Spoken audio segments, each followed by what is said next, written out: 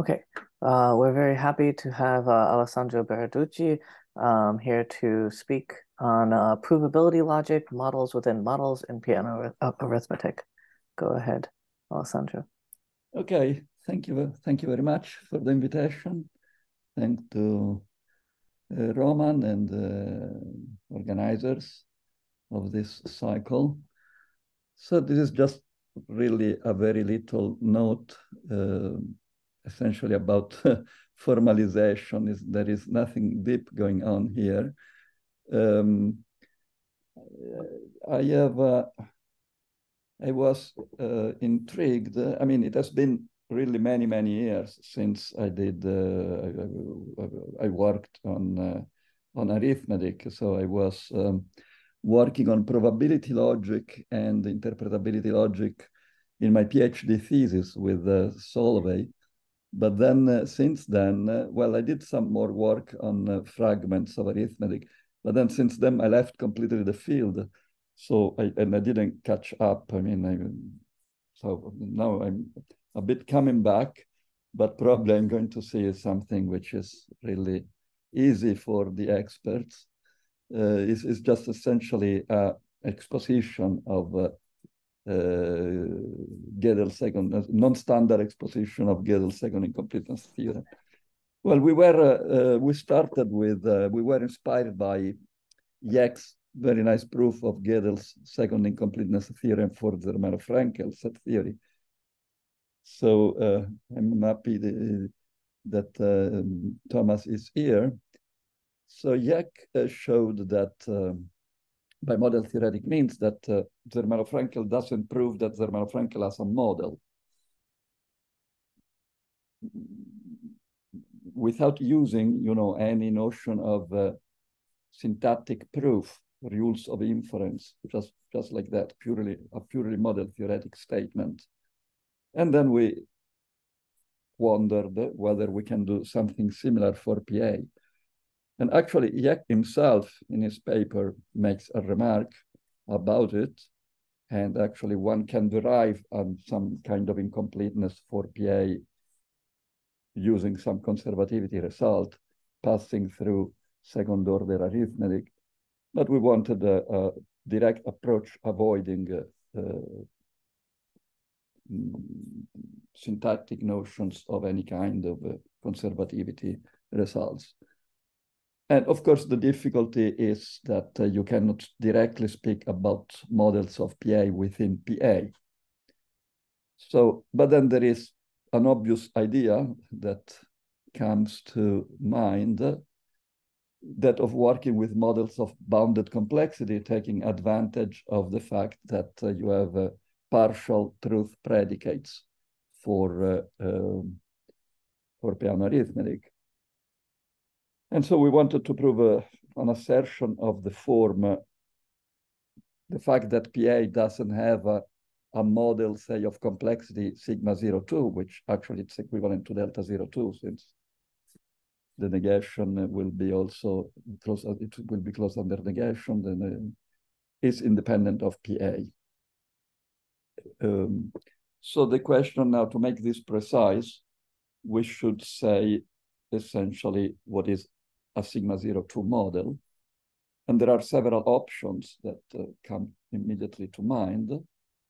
Well, first of all, why sigma 02, not sigma 01? Well, of course, because by Tenenbaum's theorem, you cannot hope to have to, to show that uh, if an extension of a consistent extension of PA has a model, then it has a sigma 01 model.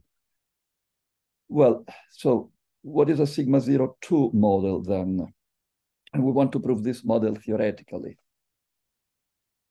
Well, the first attempt, well, the naive attempt, which is wrong, is to say that a sigma 02 model is a model, countable model, so without loss of generality, the underlying set is just a set of natural numbers and the addition and multiplication are defined by sigma 02 predicates.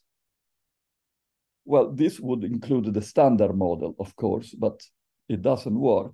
No, this, and the problem is that uh, in this way, there is no hope you can uh, quantify over such models of PA within PA. You need additional constraints. I mean, the problem is that the standard model has these properties, but its truth predicate is not arithmetic. And if you are uh, in uh, a context category of models, which is not uniformly of bounded complexity, you cannot quantify over them. Then uh, the, the, the, second uh, attempt is to say that you identify a model with a complete theory, the complete theory of the model.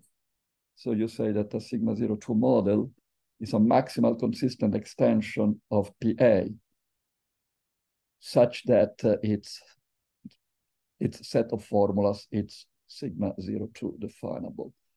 Well, we discovered that uh, Kotlarski had, had, actually already done this and uh, uh, adapted some form of Gödel theorem in this form, more or less following uh, the path opened by uh, Thomas.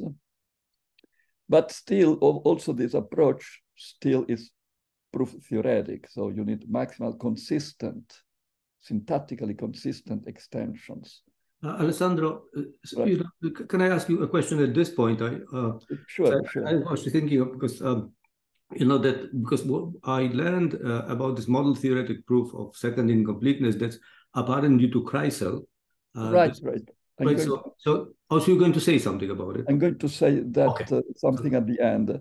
Okay. actually, Kreisel's proof, which, which actually there is an exposition by uh, Putnam, uh, if it's this what uh, you are referring to. Is, is that uh, what you are thinking about? Well, this is something that's also in the book of, uh, of Zosia Adamowicz and Paweł Zbierski. And I know -huh. it from Smorynski. Smorynski also has an outline that, that that's the one that you sort of you need to when you look at the proof trees and and, and sort of you know second incompleteness theorem through through arithmetized completeness when you so you, you, you try to assuming PA is consistent you iterate and you run into into after finitely many steps into inconsistency very similar to Jech's proofs but more technical. But is it still uh, is it uh, do you use this arithmetized completeness theorem yes. or not? Yes, it does. So it, so it is still uh, syntactic, right? Right, right. right. Yeah, but uh, I'm going to mention at the end, uh, although I didn't, I don't have a, a, slide on it, there is a really nice, very, very nice proof of, uh, attributed to um, Kripke, which is better than that. It's, uh, I'm going to say something at the end. Could I uh, just ask a, a more basic question because I'm sort of a sort of right. a student?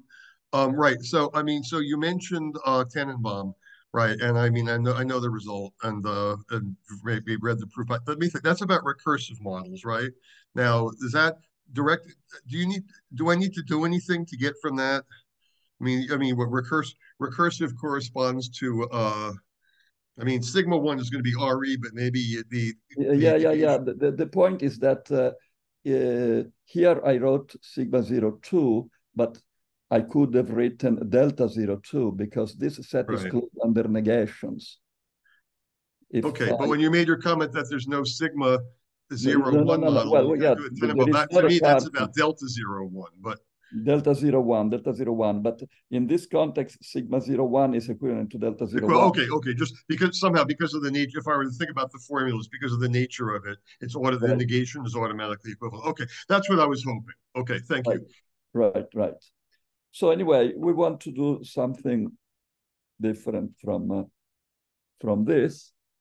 And uh, uh, so the, the final attempt, uh, the, the, the, final choice, that what we are really using is, but somehow I'm not seeing, uh, um, maybe I should make this smaller because, can, can you see the full slide uh, or till the end? No, you see my screen. So there is something wrong with let me try to um, hmm. I'm not sure.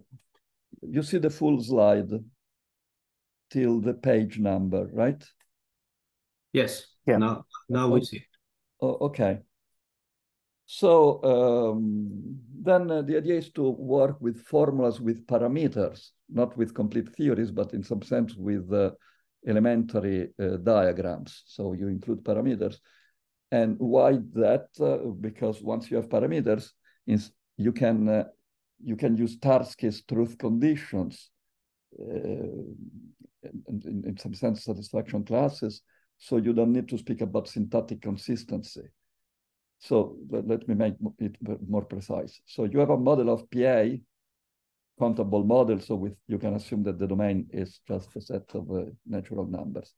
So you say that it's a sigma zero two model if the set of pairs, formula, code of formula, comma, environment, the environment is the list of parameters, the code of the list of parameters, such that uh, the formula with these parameters is true in, uh, in, the, in the model is sigma 02 or equivalently delta 02 definable. So can be defined by a formula of complexity sigma 02 can be defined in the standard model. So in other words, you have that uh, in the model, you have this formula theta, which is sigma 02, and you have that uh, in your model satisfies phi of uh, S if and only if theta holds of phi and S in the standard model N. Okay, now, so um, now you take a universal sigma 02 predicate, and now you take the code of the formula theta, and then you can think of the code of theta as the code of M, right?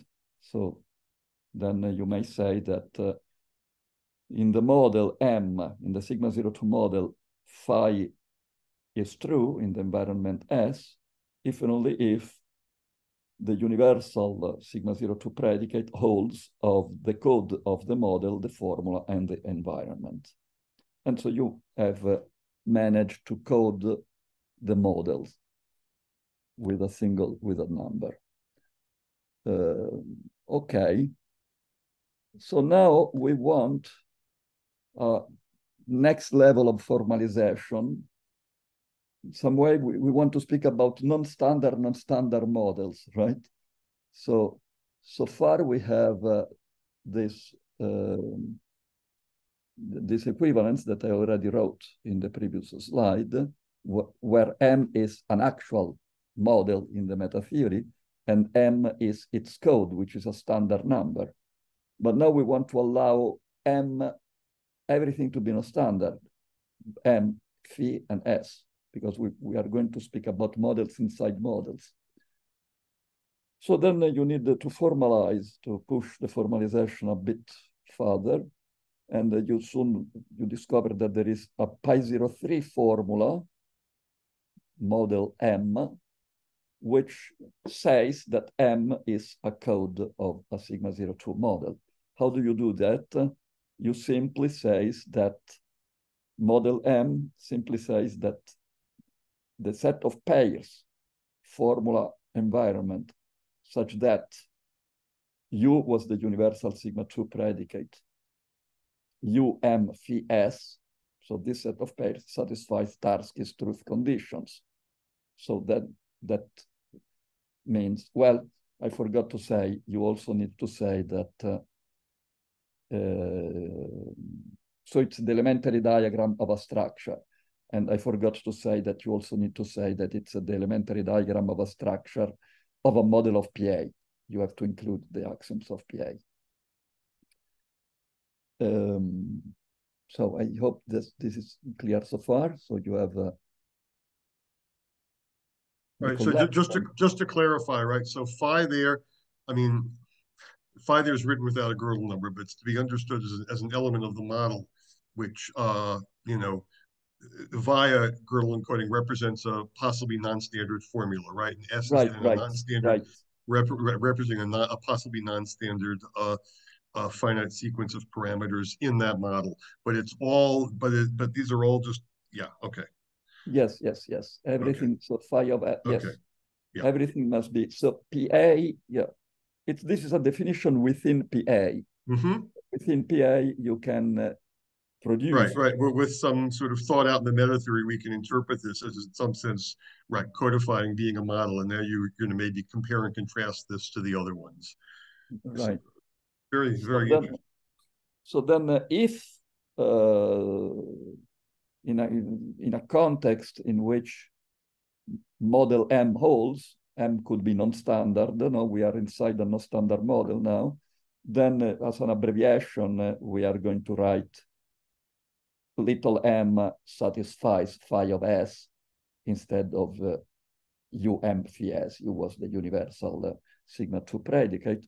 But this universal sigma 2 predicate is not very significant unless you know that little m is a model in the sense that uh, you have this Tarski's truth condition. I mean, the reason you get pi 03 is that just the, the, the additional quantifiers that you need to express Tarski's truth conditions make you jump in uh, one level of complexity. You have uh, you are speaking about sigma 02 models, but then uh, you you you you need pi 03 to quantify over uh, formulas uh, and parameters and so on. So you get this notion. now. Um, okay, now the, the idea is now in, in usually in uh, so-called provability logic, you have uh, the modal operator box, which is usually interpreted as syntactic provability. Now, box phi usually is interpreted as phi is provable in PA, formalization of this fact. Now we want to change the interpretation of the modal operator and you want to redefine it as a pi 04 formula now becomes uh, one higher level of complexity, pi 04 formula, which says phi holds in all sigma 02 models of PA. So as you see, there is an extra quantifier here for all M. No? So box phi, phi could be no standard, M could be no standard, everything can be no standard. This is a definition inside PA. Box phi says for all M, if M is a model of PA, then uh, for all environments S, but the environment is useless if phi is a closed formula without free variables. So uh, phi is true in the in the non-standard, non-standard model M, so to speak. So this is the interpretation of box. And uh, it, it has been defined without referring to any proof system at all, right? Uh, okay. So uh, now let me make, just for uh, the students, uh, a little digression uh, about Kripke models. So as you know that uh, in Kripke semantics for provability logic, a modal formula is valid if it's true in every well-founded uh, transitive Kripke model. Actually, it's enough to restrict yourself to finite trees. If it's true in all finite trees, irreflexive finite trees. So for instance, in this tree at the root, of this tree, you have uh, you have this formula which is valid at the root because uh, diamond A means A is consistent, so it, it's true somehow uh, in a model accessible from the root on this right-hand side. And also it's necessary box that B implies the consistency of non-A. So at, uh, at every node below the root, accessible from the root, if B holds, B holds only here, then uh, if B holds, also the consistency of not A holds. So somewhere below you have also not A. So this is just a reminder of Kripke semantic. And, uh, and it's true that um, it's well known that uh, if you interpret box as provability and diamond as consistency, then uh, uh, the, the and A, B, A, and A and B are just uh, uh arithmetical formulas, then the things which are true in all Kripke models are exactly those which are provable in arithmetic uh, in this uh, in this interpretation. So, well, why may I say may I ask by, by provability logic, do you mean GL specifically or? Yes, yes, uh, the GL, G, I think it's called GL. I call I used Yeah. to call it G, G for Gödel, Gödel logic. Yes, Right, exactly. go to Walsh logic. Yeah, okay. Gödel logic for uh, okay. So well, it's of course it's tempting to interpret the nodes of the Kripke frame as models of PA. And uh, so our interpretation of box phi as truth in all sigma 02 model is in line with this intuition. So it's much better to think of uh, Kripke semantic thinking about models of PA as nodes. So this is one uh, additional motivation, intuitive motivation for considering this new interpretation of the box. Alessandro, uh, so Yes. how, how do you access one model from another model? Um, well, uh, if a model A thinks that uh, um, satisfies the formula uh, model B, I mean, through the, I see. right, you, you have a model Mhm. X in which the formula model Y is true, right? Right, right, right. I see. So, so th- what, what is what the model sees? Yes, yes, exactly. The model sees the models which it believes are models, right? Mhm. Mhm. Yeah. Okay, Exactly. So this is the intuition to keep in mind. As a set of all um are, are the are the worlds here the um the all sigma zero two models? Yes, yes, yes. I mean, this is a slide which is really just there for intuition. Is not. Uh, I, I didn't do any formal work on these Kripke models in the paper that I'm speaking about. It is it's just there for additional intuition on this interpretation of the box. You you may do whatever you want with it. If you are familiar with uh, provability logic and Kripke models, it may be useful for the intuition, but I'm not going to use this. So um, anyway, now let's come to the derivability conditions. Everybody knows that the proof of uh, the Gödel's second incompleteness theorem,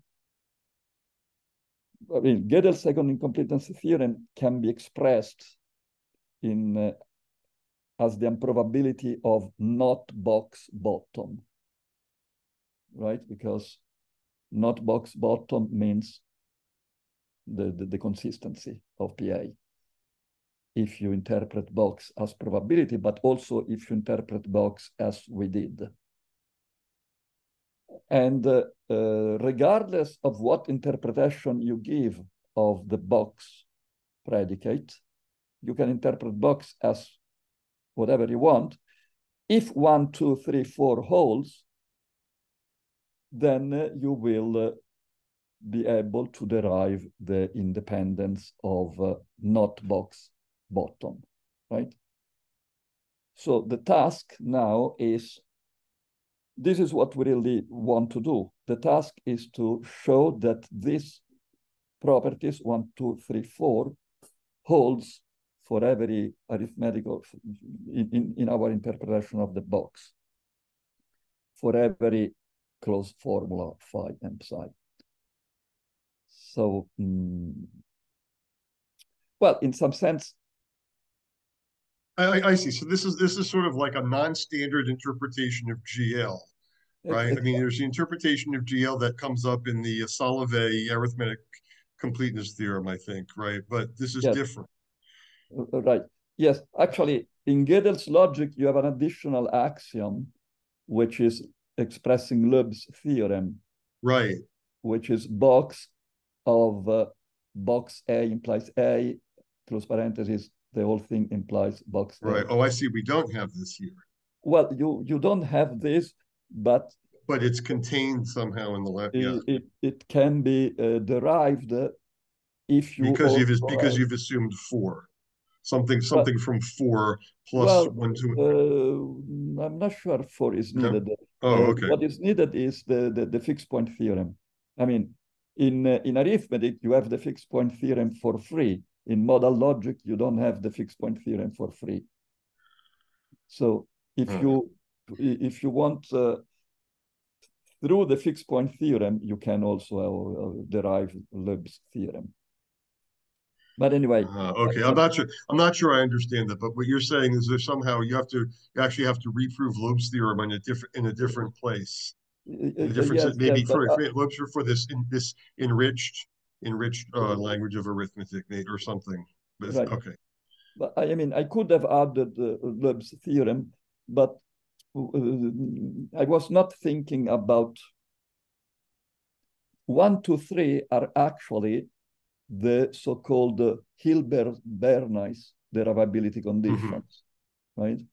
So from the Hilbert-Bernays derivability conditions, one can derive uh, Gödel's incompleteness theorem, second Gödel's second incompleteness theorem. So if you have a predicate box, which usually it's Gödel's provability Mhm. predicate, and then you have to put phi under Gödel numbering. But regardless of whether, inter regardless of the interpretation of the box, you can interpret it as provability or anything you like. If one, two, three holds, then uh, not box bottom is not provable. In, in other words, and if four holds, is not even disprovable, right? So, uh, but I, I come to it next Mhm. slide. Uh, So, um, so far, let's concentrate on one, two, three.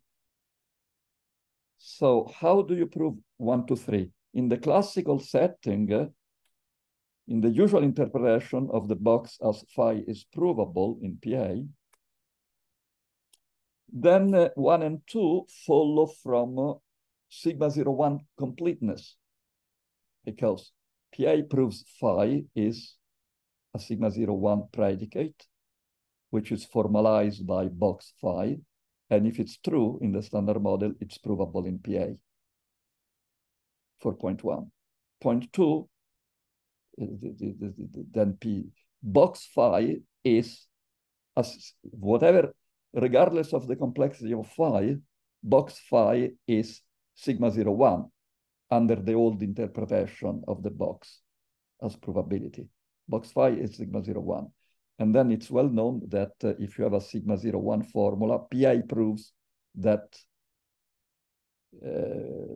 theta implies box theta for any theta implies provable theta if theta is sigma zero one, right?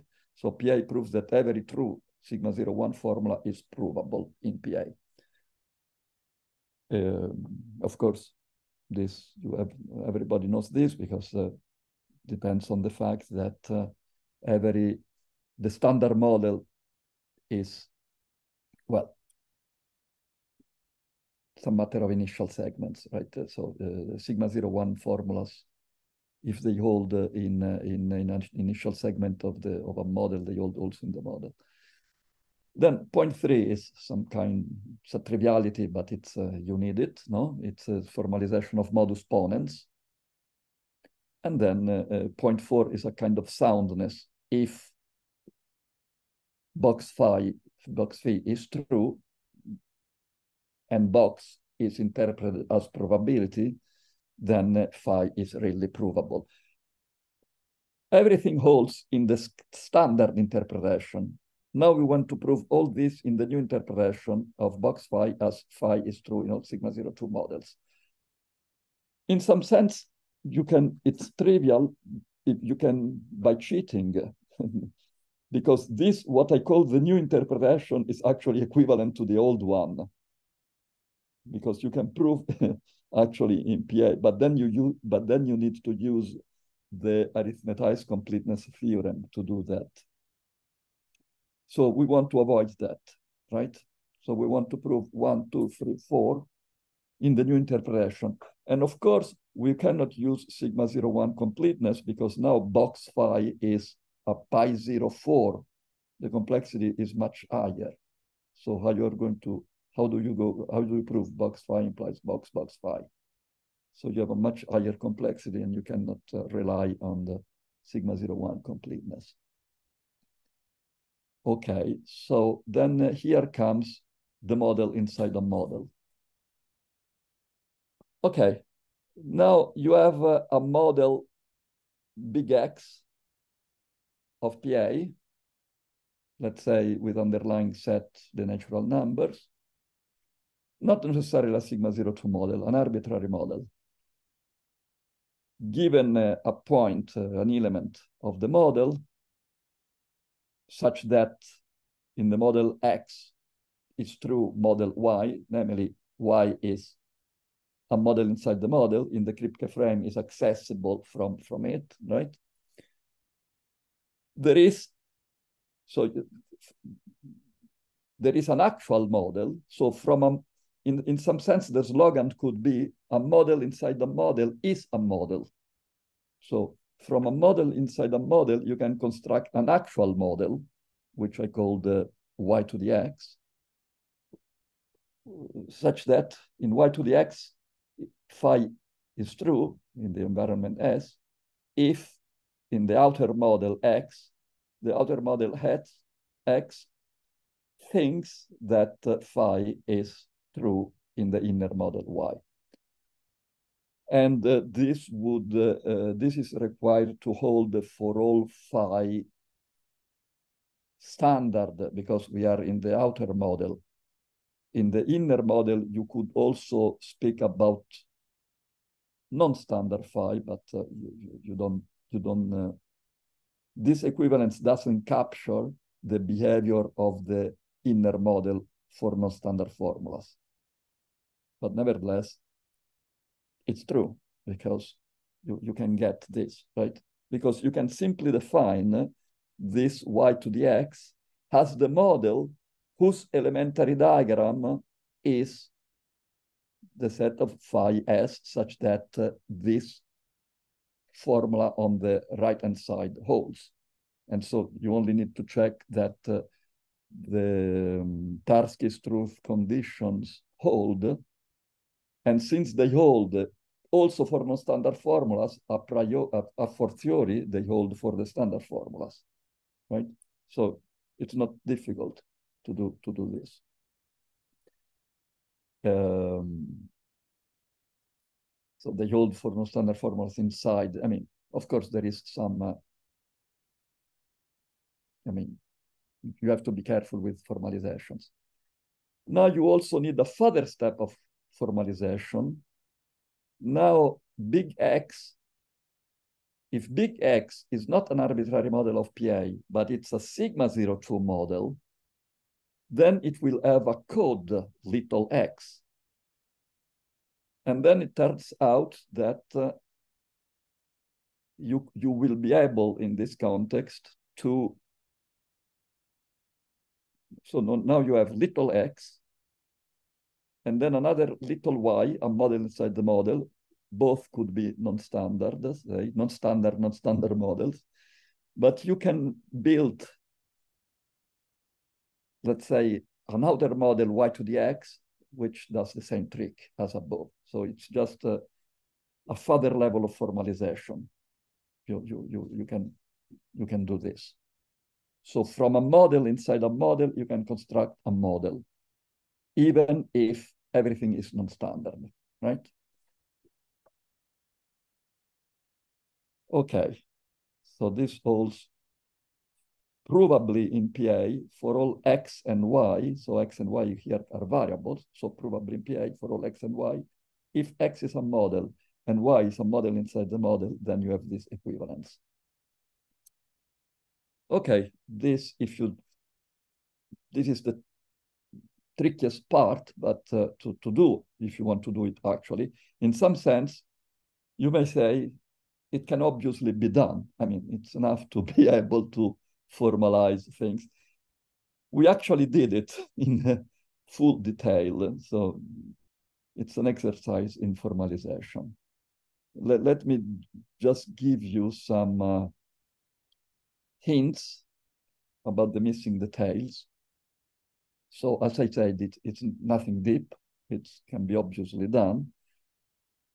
To do it, you have to be careful because dealing with parameters, it's a bit tricky because you have uh, three kinds of objects. You have formulas and numerals. Formulas and numerals are descriptions. They have a different meaning in different models. So uh, if you say 2 plus 2 equal 4 in, uh, in one model has a different meaning, meaning than in another model because the, the definition of uh, plus changes. Then you have parameters. Parameters are not descriptions. Parameter are uh, what Kripke calls rigid designators. So two means two, it doesn't mean one plus one. So, and you have to pass parameters from the outer model to the inner models, not descriptions. And then you have formulas with parameters. And the trick here, what is really nasty, is that uh, you may have a non-standard number of parameters. So you may have a formula, non-standard formula, with a description of a sequence of parameters. So to deal with this, it's a bit uh, a mess. So if you have a, non-standard formulas with a non-standard number of parameters, you have to pass this information from a model to a model inside the model. And so you need three different functions. The identity function to pass the parameters, because parameters are uh, names. They are what Kripke calls rigid designators. Then uh, another function for descriptions, for instance, numerals or formulas. In some sense, this takes the number n and produces the Gödel number of uh, the numeral of n. But n could be no standard, the numeral could be no standard. So and this is x dot. And then you have a, a third function, which is for environments and this is the new thing probably. Uh, it's just too messy. I don't think that anybody did this. Uh, this uh, it, it's just too messy because what is what is an environment? An environment is a sequence of parameters. So it's a description of uh, objects which are not descriptions are parameters. And this sequence could, could have no standard length. And you, to be able to pass this information from the outer model to the inner model is a kind of a mess. In some sense, you, you need to pass from uh, the name of a sequence of names to the name of the sequence interpret. I mean, I'm not going to discuss this, but just so in quantified provability logic, there is already some of this. There is the, the second item has already been present in, pro quantified provability logic. Quantified provability logic, you have things like for all x, box A of x dot. So you don't want to put you don't want to put everything in the scope of the box inside Gödel numberings. Otherwise, you cannot. Otherwise, the quantifier will not will have no effect. So you need the for all. So so given x, you have to produce the Gödel number of the formula containing the numeral for x, and then you put it inside the box. So here you have only the second item, the second aspect. Now, in this new setting, you have to deal also with passing the parameter itself, not the dot, not the numeral, but the parameter itself, which is the same, because all models are based on n in some sense. If you if you build if you think of the Kripke frames, all models of the Kripke frames have access to the same set of parameters because they are all based on n. But of course, the parameter three in a model could be one plus one plus one, and in another model could not be one plus one plus one. So as a, as a numeral, as a description will change, but as a parameter will stay the same. Here is more complicated. In some sense, we have to deal with uh, things like for all x, box of a of x without the dot, but we also have to deal with things like for all x1, xn, box of a of x1, xn, where n could be non-standard. So we, we must be able to pass from the outer side to the inner side a non-standard number of parameters. But anyway, this is just to say that I'm not going to discuss details because formalization is a mess. But this is needed to be able to do to deal with models inside models. But now I can prove the derivability conditions.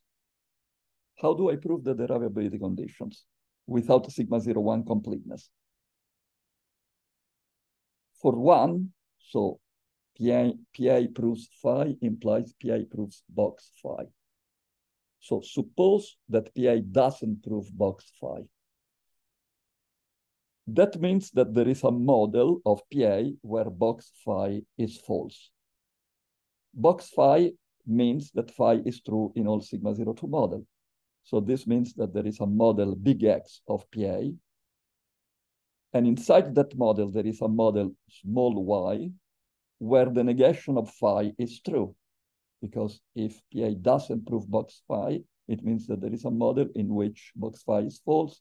That means that there is sigma 0 02 model in which the negation is true, and psi is the negation of phi here. But then we know that uh, from a model inside a model, we can construct an actual model. And so we get an actual model of PA where phi is false, and we get one. And for two, as you may expect, we use the formalization of one. So now, now you work inside a model of PA. Inside a model of PA, you want to prove the implication box phi implies box box phi. Suppose box box phi is false. That it means that there is a model little x, and inside that model, there is a model little y in which psi is false. Again, from it, you can construct an outer model, y to the x, in which phi is false. And so you get two. So I hope this is clear. This is why we need these models inside models. The parameters are not needed here, but are there. They could be empty. Three is obvious. And four, and four is, four, I tell you, four is, I'm going to discuss about four later, because four is where the referee complained. Uh, I I, I don't know if the referee is among the audience, but I'm going to say something about it. So in four, you have the following. If PA doesn't prove phi, then there is a model in which phi is false. But then it's well known that if a recursive theory has a model, it has a delta zero two model. So if PA, if phi, if PA doesn't prove phi, there is a sigma zero one model where phi fails. But then you may consider the code of that model. I'm, I'm sorry, could you explain again why that is? I didn't catch it the first time. Uh, why what? Well, the implication that, about the delta zero two model, right? I just didn't quite catch it. Which which number? One, two, three, or four? No, no. Start with just the, the proof of four. Four. Well. Yeah. What you just what you just started to say, and I uh. uh okay. You off. Suppose. Well, I'm going. I, I have to prove the implication. Mm-hmm. Suppose mm-hmm. the conclusion of the implication is false. Mm-hmm. So PA doesn't prove phi. That means there is a model of PA where yes. phi. This model can be taken to be sigma zero two. This is. Let me right? see. Why is that? Is that why? Why is there? Well, see, why, wait. Why are you saying it can be taken to be sigma zero? Am I missing something easy or? Uh, well, let me say I, am going to discuss this later. Oh, that's the point you're going to discuss later. Right. I, okay. I'm, okay. Fine. But, but, there is a point there. Okay. Fine. That's that's all. Well, that's well, well. In some sense, it's well known. It's it's well known, but the proof is proof theoretic. Right. Because you just consider. Well, again, I'm I'm I'm the student, so I, I didn't. I mean, I just I don't really uh, know which things to be uh, worried about okay, and which okay, things okay. not to be. But I'm no, but I'm glad I, am glad I caught a fine point, so or somewhat fine point. So that's well. Good. I, I'll tell you the proof theoretic proof of this fact. You consider you you introduce Henkin constants, so then you consider the tree of finite consistence extensions of PA plus not phi, and you take the leftmost branch, and this leftmost branch will be a delta zero two branch and will produce a sigma zero or delta zero two model. Okay. What was the first part about introducing constants? Uh, well, because you you want uh, um, um, uh, the elementary diagram to be delta uh, sigma zero two, not just. Oh, oh, so you want to be able to write down the elementary diagram. So you just give yourself, you just uh, reserve half the Gödel numbers, the even numbers, or something like that, and you use those to code elementary diagrams. Right, right. Okay. Right.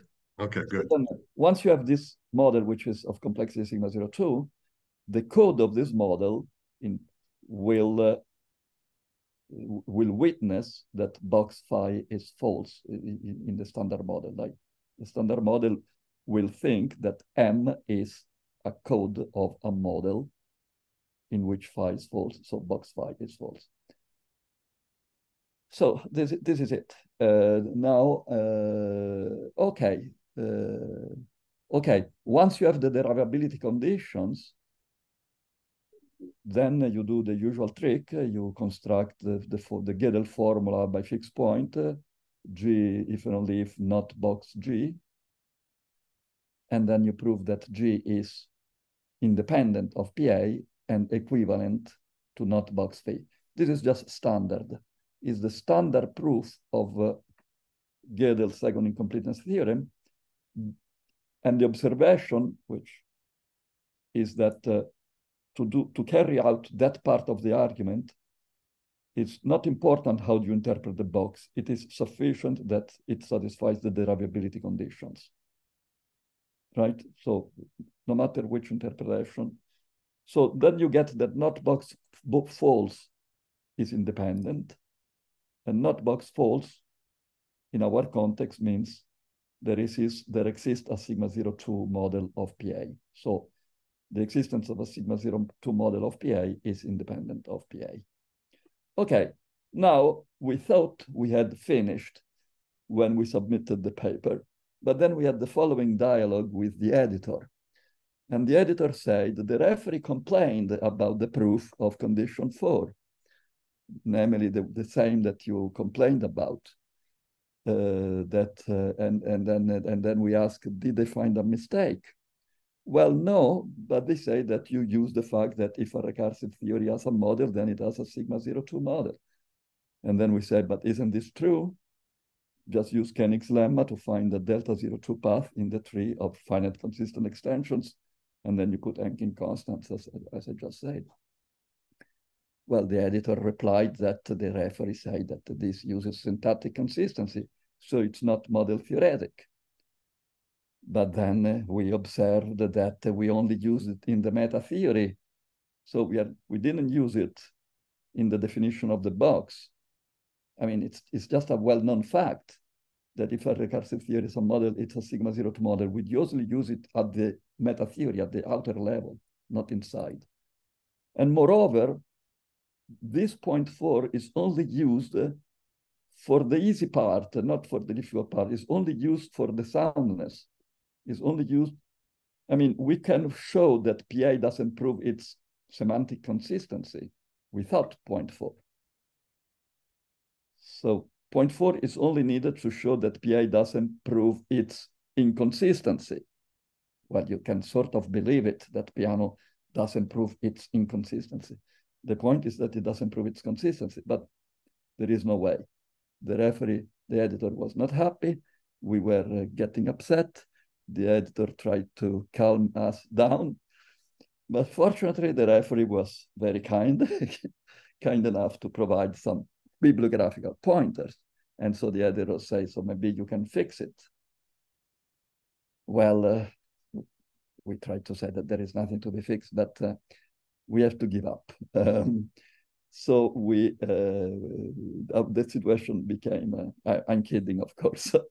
we were very happy that uh, the referee um, provided uh, some additional uh, suggestions to actually improve the paper very much. Uh, and, and I'm going to show you how, how to do it. So, but as I said, so far everything goes fine. Proof theory is only used to show that if a recursive theory has a model as a sigma zero two model, but the rest of it is model theoretic and everything works fine. But let's do this last, uh, let's, let's deal with this. Existence of sigma zero two models for, uh, um, so we want to show model theoretically that if a recursive theory has a model, then it has a sigma zero two model. Well, I'm not completely happy with the solutions we found, but let me present it uh, nevertheless. As I said, proof theoretically, it's well known. You, you, you just use Koenig's lemma in the tree of uh, finite consistent, uh, consistent extensions. And uh, if you get a recursive tree with an infinite branch, you have a delta zero two branch. This is what is needed. Recursive tree with an infinite branch has a delta zero two branch. Now, the idea is, as, as suggested by the referee, to construct models as limits of finite structures. So to remain in the, the model theoretic side. And actually, it's a very old paper, Skolem 22. Very beautiful paper. Construct models as limit of finite structures before the completeness theorem, before everything.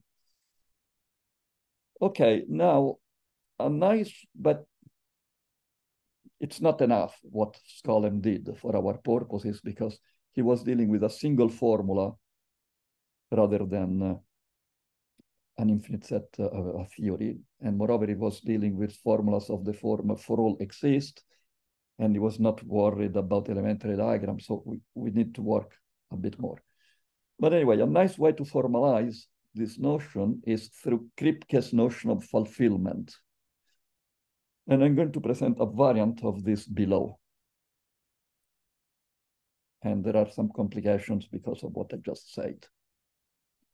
Okay, what is this Kripke's notion of fulfillment? So, some sense, uh, the origin of the idea is Skolem with this limit of finite models. Then it was formalized a bit more by Shelah in 82. Uh, but then there is a fantastic paper of Putnam that you should all read if you didn't. But Putnam attributes the proof he presents to Kripke, but Kripke didn't publish it. And Putnam says, said, since Kripke didn't publish it, I'm going to publish it. But it's Kripke's proof that Putnam is, is presented. It's, it's a fantastic paper. It's really the best proof of uh, Gödel's incompleteness theorem that uh, I, I, I, I know. But anyway, because doesn't use proof theory, doesn't use self-reference, doesn't use anything. Um, but I, I, don't have time to speak about it.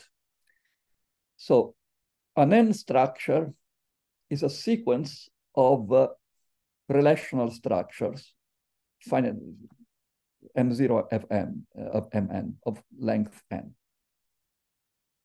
such that mi is a substructure of mi plus 1. Now, given uh, such an n structure and given i less than n, and a formula with parameters from mi, I want to define this relation between uh, this sequence and a formula. Uh, this looks like a forcing relation. It's actually called fulfillment, Kripke fulfillment. Well, it's a variant. Our variant, I hope it works. So it's uh, it, it, each author has it uh, slightly different.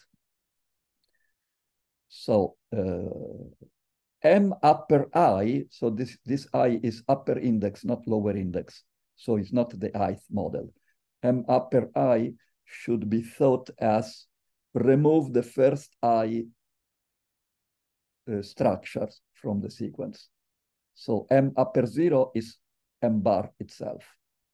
M upper one, you remove M zero. M upper two, you remove, well, yeah, exactly, something like that. But anyway, so you concentrate on uh, what happens beginning with MI, MI, MN.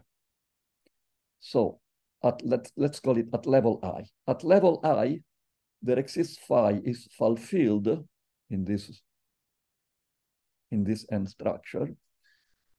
If either you are at the end, either you are uh, at the end, you are concentrating on uh, on uh, mn, or there exists a witness in the next level such that uh, phi of A is fulfilled at the next level. Then for all, for all is slightly, is not dual, is slightly different. The semantic of for all is for all x phi is fulfilled at level i if at all higher levels for all higher levels there, and for all witnesses in the higher level, it's fulfilled at that level, phi of A. And then the rest is classical. Conjunction behaves in the obvious way. Disjunction behaves in the obvious way. Atomic and negated atomic formulas behave in the obvious way, and negations is only applied to atomic formulas. So the, what is the intuition? The intuition is that uh, the for all player can play wherever he wants. The exist player must reply in the next structure. So if for all chooses a witness in MI, exist must find the chooses a parameter in MI. The exist must reply in mi plus one to find the witness. But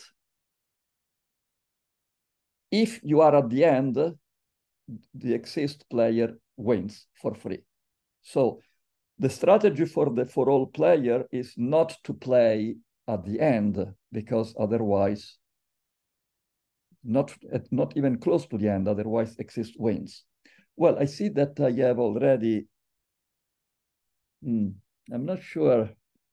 I should stop. Maybe. Uh, maybe I. Uh, I, I, I'm I'm not the organizer, but I'm hoping this can continue. This is this is wonderful. I mean, yeah, yeah. various things I was reading for separate reasons a little over a year ago, and they're all coming together in what you're saying, and I would like to hear more. well, uh, yeah, we we can continue for um, how how long do you think you need to Five minutes. No, I think that's fine. Yeah. Okay, so uh, then you define an omega structure is just uh, um, an infinite, you have infinitely many relational structures. And then you say that a formula is fulfilled. Then you change in the omega structure, you have to change the definition of the existential uh, semantic of the exist because there is no last structure. So you simply drop the, the, the, the first disjunct. So uh, it's the same as before, but if the structure, if the if you have an omega structure of length omega, then uh, simply everything as before, and uh, the exist has to find the witness in the next level. Okay, and then uh, if uh, i equals zero, you, you simply write that the formula is fulfilled in uh, m bar. So of course, so you begin with uh, m bar, then uh, the players start to play, new parameters are uh, go in the play. Maybe these parameters are not in M0, but are in M1, and then you have to move to M1 and so on and so on. Okay, this is fulfillment. Okay, what are the properties of fulfillment? Well, a formula is satisfiable if and only if it is n fulfillable for each n. So that, that's it. This is the key, the key thing. So everything is semantic here. Instead of saying satisfiable if and only if the negation is not provable, which is syntactic, you say satisfiable if it is n fulfillable for each n, which is semantic. And uh, why is that true? Because if it's n fulfillable, fulfillable for each n, an easy exercise using compactness shows that it's omega fulfillable. So it's uh, fulfillable in an infinite sequence of relational structures. On the other hand, it's also easy to see that if it's omega fulfillable, it is satisfiable. In which structure? The union of uh, the, the relational structures appearing in the omega sequence. And then one can also observe that if it's satisfiable, the, also the opposite is true. If it's satisfiable, it's omega fulfillable because if it has a model M, you, you may simply consider the omega sequence M, M, M, M, M. You repeat the same model omega times, and uh, it's omega fulfillable in that model. And if it's omega fulfillable, it's n fulfillable, and n plus one fulfillable implies n fulfillable, and, and so on. So there is this notion of fulfillable, which is very nice. Notice that despite the last item,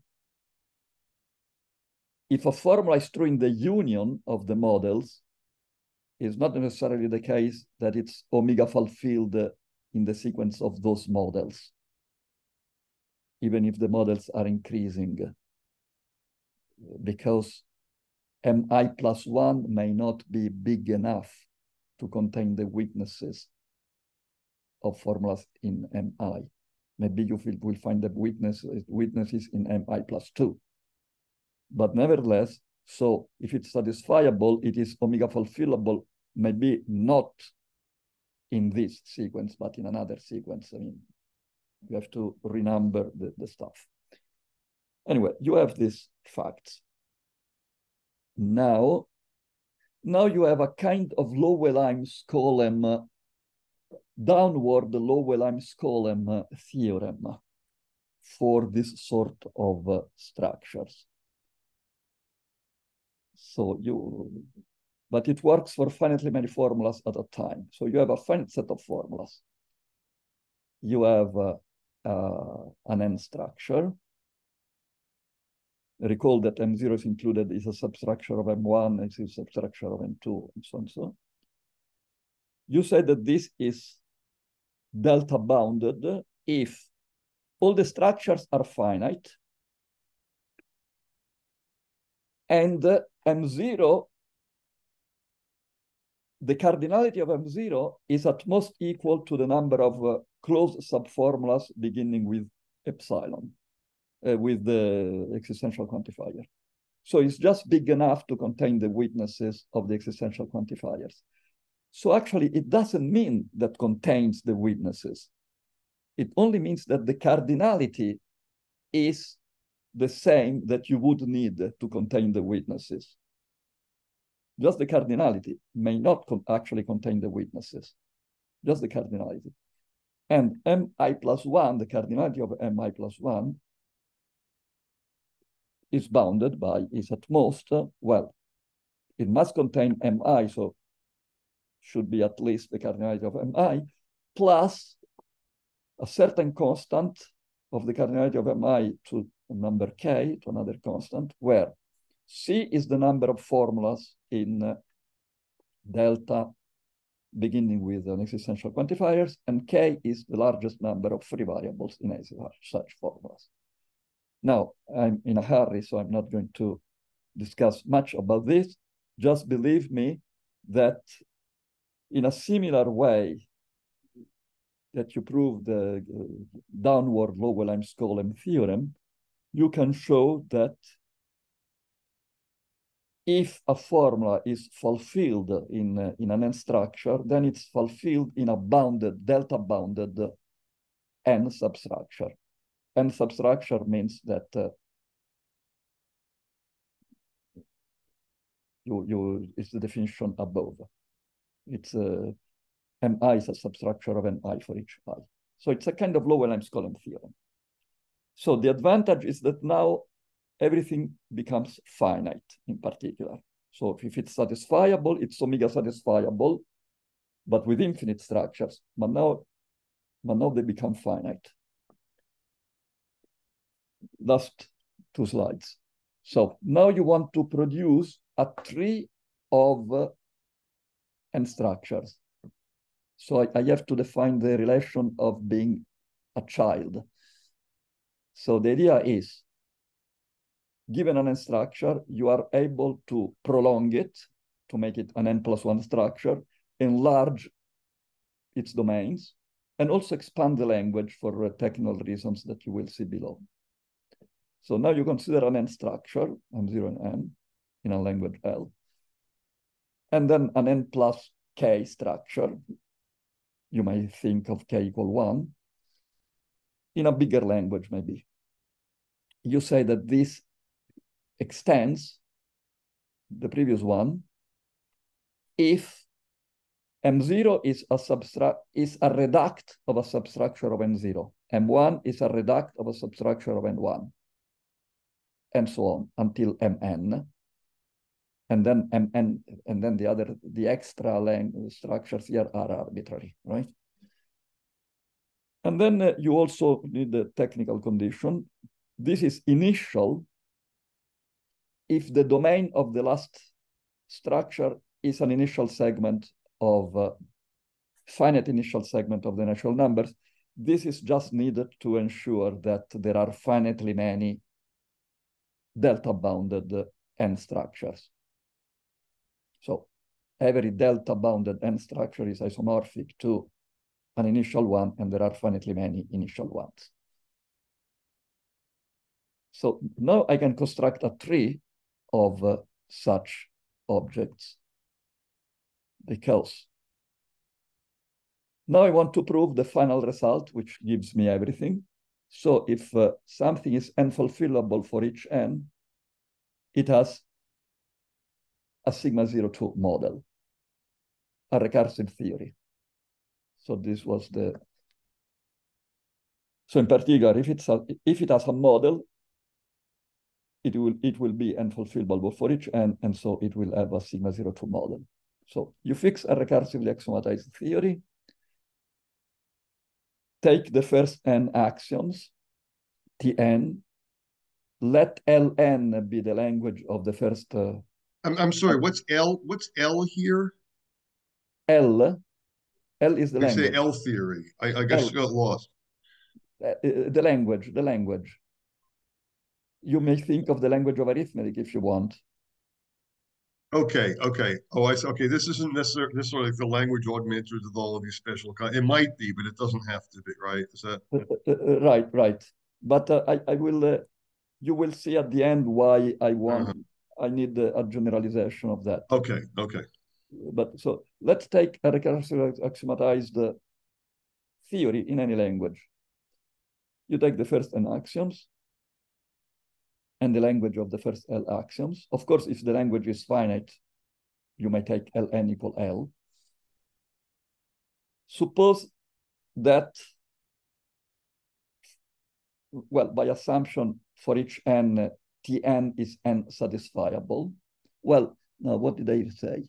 I mean, I, am sorry. When you say a language is finite, I mean, I mean, but you still have uh, infinitely many variables. Yes or no? or does it not uh, matter? Well, the axioms usually are uh, uh, closed formulas, right? Um, right. So the longer and longer ones require more and more variables. But you no, can no, also no, have no, no. copies. The, the, variables don't count as a language. okay. Okay. Fine. Just checking. The relational okay. symbols and. Okay. just number. Fair. Fair enough. Right. So suppose now that. Uh, well, no, I'm I'm not sure what do I mean by unsatisfiable. No, I, I meant unfulfillable, probably. Yeah. So the original theory is n-fulfillable for each n. So in particular, the first n axioms are n-fulfillable. So you have get uh, an n structure which is fulfills the first axioms. Now you construct a finitely branching tree whose nodes at level n are the Tn bounded. Remember the notion of uh, delta bounded. Are the Tn bounded initial n models. These are just technical conditions that are only needed to ensure that there are finitely many such. So you have a tree and at level n, there are only finitely many nodes of the tree. And uh, each node at level n fulfills the first n axioms and extends a node at level n minus one by definition of the tree. And the children are the extensions. So you have a finitely, infinitely, an infinite finite branching tree as an, a delta two branch. Take the union of the models in that uh, branch. These are finite models, finite structures, would be the, and the union is a model of T. Well, this is what I don't like. It's a model of T whose atomic diagram is delta zero two, not the elementary diagram. How do we deal with the elementary diagram? Well, now it's not elegant. I'm sorry about that. I couldn't find, uh, we couldn't find a better solution. Well, by expanding the language, and this is where we need L to be larger than the language of arithmetic, by expanding the language, you can introduce a definition for every formula by a new predicate symbol. By expanding the language, you can reduce to the case in which T has effective elimination of quantifiers. And so in this case, the elementary diagram, if the atomic diagram is delta 2, the elementary diagram will also be delta 2, and that's it. So there is this, and, and I have uh, finished, sorry to take uh, so long. Um, but anyway. All right, thank you very much. Let's uh let's all thank our speaker. Um, uh, you can use your emojis or you can unmute and clap if you like, but let's thank our speaker.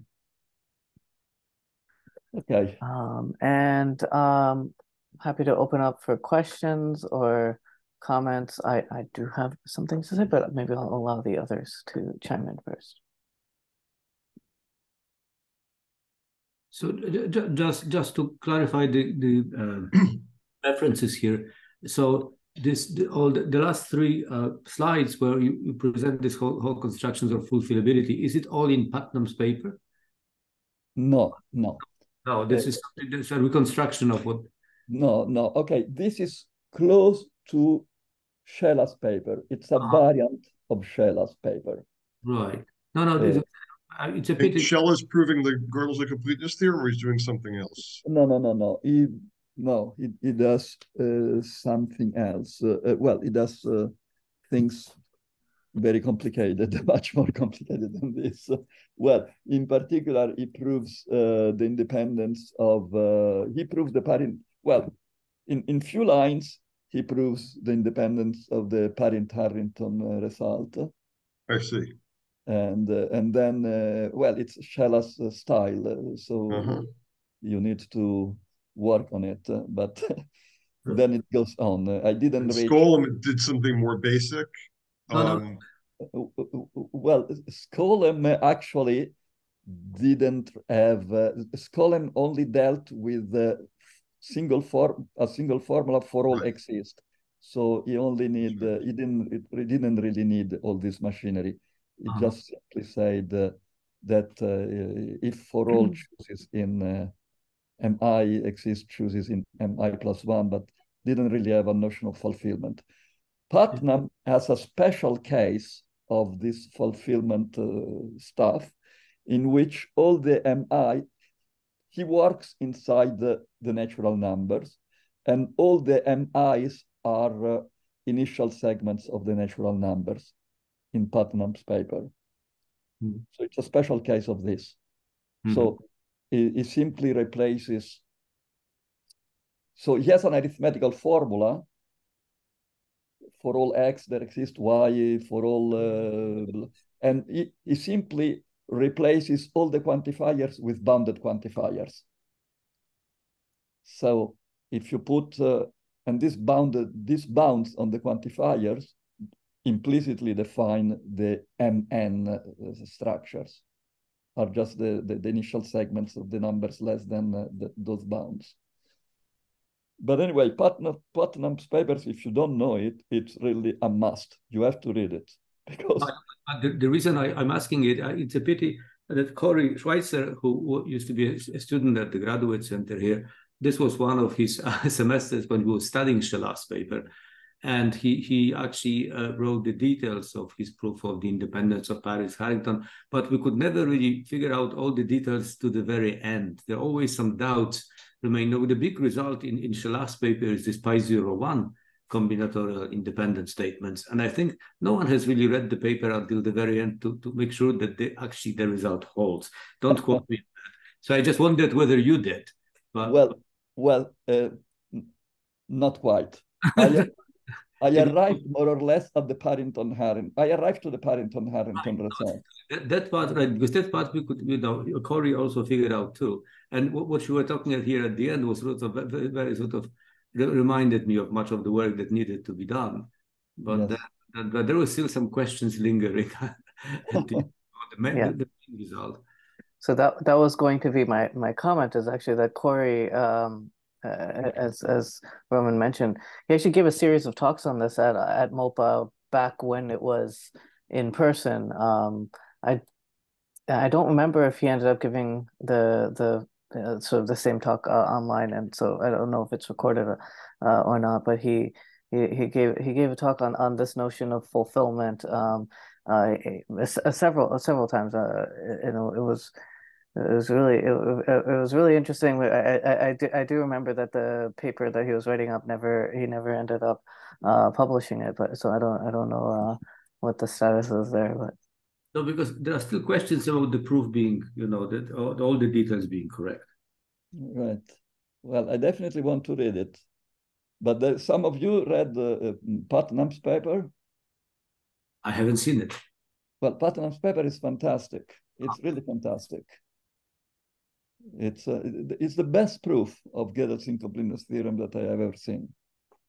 No, but look, I like very much Kreisel's uh, proof, which is very kind of again, it's so models within models are there because you know it's really the yeah, style. If you have you seen the Kreisel's proof? Well, uh, maybe not, maybe not. No, no. So the thing is that you, you you assume that PA is consistent, and then you have this by arithmetized completeness theorem, you have this arithmetic uniform procedure of constructing end extensions. Right. And you do you di diagonalize against the, the, the, definition of the model that you're getting. So showing that every time you get a non-conservative extension, so there is this one sentence that changes its value, truth value, when you go from one model to the other. But because yeah, you change the truth value of a it sounds it sounds a bell. It sounds a bell. It's definitely yeah. Right, I, right. And then so so so so in in the so this is it's on the finite level of this tree of, of, of uh, the extensions. So you go to the left all the time, but you're forced to move further, further to the right, and at the end you stick, you, you, you hit the wall. So I, I, thought it was a very beautiful proof, but it uses the full power of the of the arithmetized completeness. But does it use fixed points? Uh, well, it's only for the the, the Gödel, you know, the, the, the diagonal argument for the sentence is equivalent to its truth in the model. Hmm. Well, maybe it's related to what Putnam does somehow. Uh, Putnam uses overspill and uh, but uh, and, and and ultra powers. Um, and it's also a kind of um, minimalization. Somehow we consider the smallest omega structure, which is a model in some sense of smaller, and then uh, it shows that he can produce a smaller one uh, if if the theory is consistent, something like that. Hmm. So, you know, I, I wouldn't claim that that uh, Kreisel's proof is the simplest, but it's really very beautiful. That's the, yeah. and it's very model theoretic. Yeah, yeah. No, well, no, sorry, I didn't want to. Uh, this, I mean, I didn't. I was so enthusiastic about Putnam that uh, no, no, no.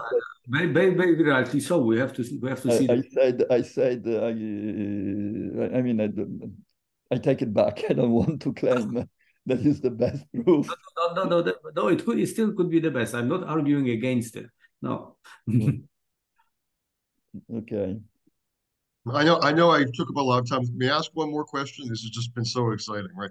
So, no, no. I, for various reasons, I don't really remember. A little over a year ago, I was reading various papers. I know, I definitely read Thomas the X paper. I think there was something from Boolos, which uh, connected, and then I believe I may have read this Kotlarski paper.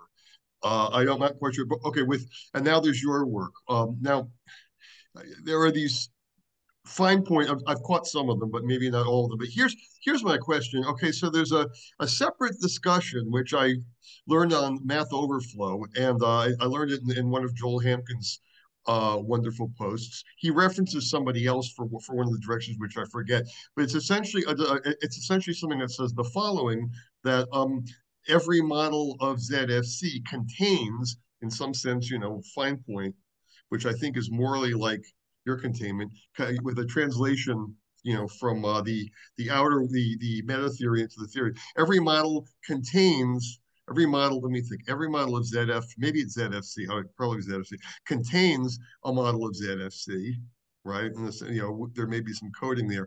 Um right right but it um the thing is the fine point the fine point is um so the, I mean the proof basically splits into two cases and there's I mean the, rather than overspill there's the reflection principle and there's um there's one there's you do one thing if the original model is non-standard and uh, you do another thing if the model is standard and the point is you're not actually pro um, proving the one formalized assertion uh, that the thing is, in other words, it, I mean, it, it's not necessarily a model with respect to non-standard formulas, right? But it is a model with respect to the original, right?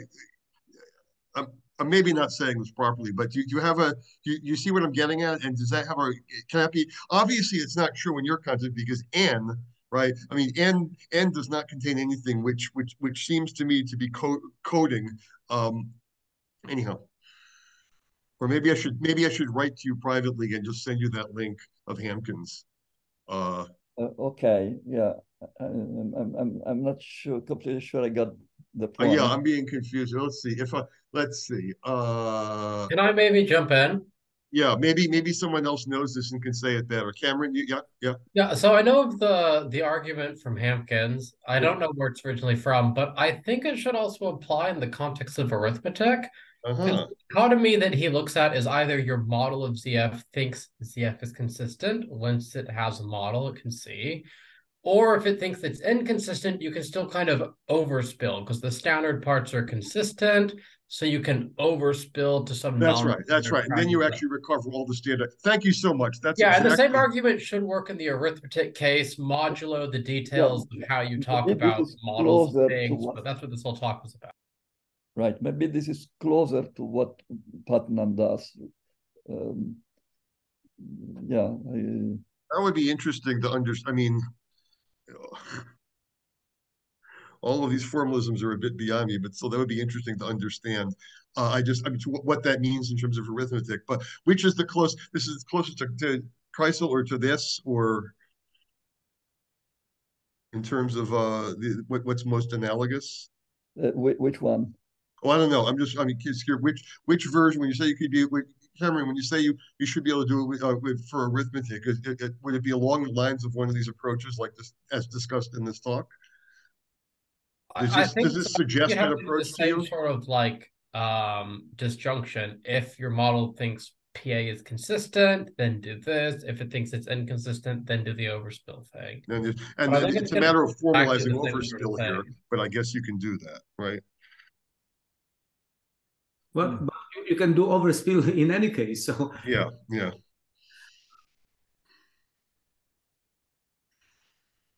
Okay. Um, any other questions or comments?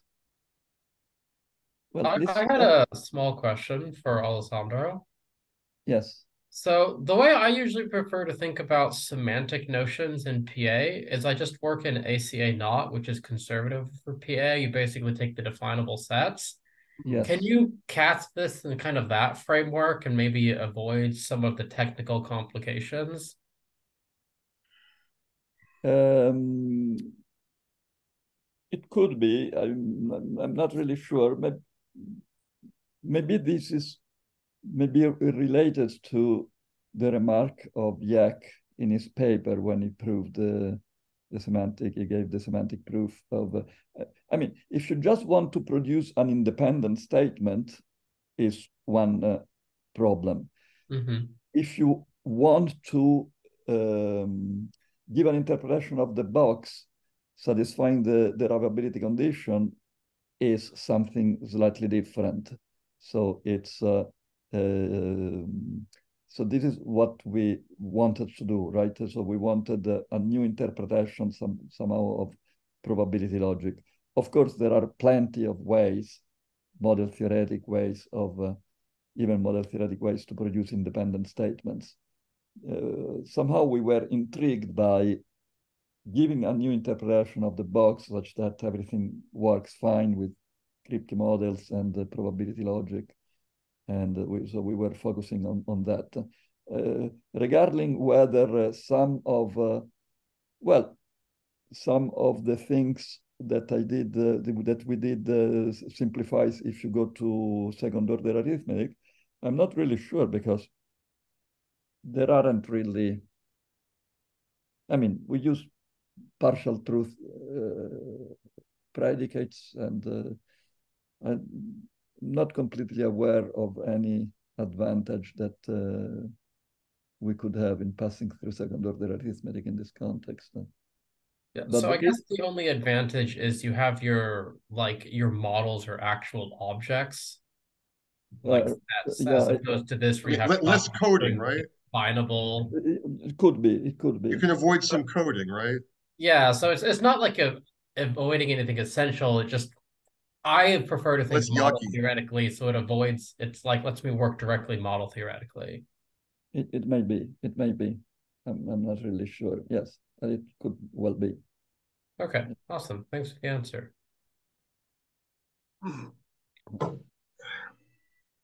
Um, okay, I, I want please, please, send me before we, we please send me an email with all this uh, references that I missed uh, about these uh, other papers of uh, Kreisel and uh, and so on.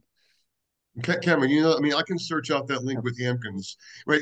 If you go to Math Overflow and you search model, model in a model ZFC, I think it just pops up because I've done that many times over the last like five to 10 years, okay. right? But okay. um, I mean, I, can, I suppose I could do it again. And yeah, yeah, yeah. But I'm, I'm, I'm, I'm aware that uh, we may be rediscovering things which were already known in one form or another. Well, no, but it's a different context. At least to me, it's different enough. I mean, I'm just it's uh um because again, I mean, you know, the original proof by by by Jaak, right? I mean, set theory has such incredible uh expressive resources, right? I mean, that you get this completely natural formulation without any any any fiddly coding whatsoever. And then there are these other, oh, my cat Ruby came back. She loved the talk too. She was there all the way to the end. okay. That's good. Okay. Um, let, let's thank our speaker again. Um, and yeah, again, that was a very excellent talk. I really enjoyed it. Okay, thank you. Thank you. It was very nice to have such a reactive uh, audience. I, was, I, I uh, did, did you say there's a paper on the archive or is it just the slides at this point or? Uh, I mean, we have a, a, I have a paper with Marcello Mamino well, that's right. You were talking about referees, so I guess it's it's it's either published or in process at least, right? So no, this is already published. It's published. Yeah. Oh, okay, okay, okay, okay. I'll just look for it. But then. but but the slides, this last spot, this last part with this fulfillment stuff is not in the paper. Uh huh. I see. Okay. In, in the paper, there is a sort of simplified version of this. Mm. Uh, and again, it looks a little bit like forcing because of the uh, the way you have to define exists and for all separately yes. for example.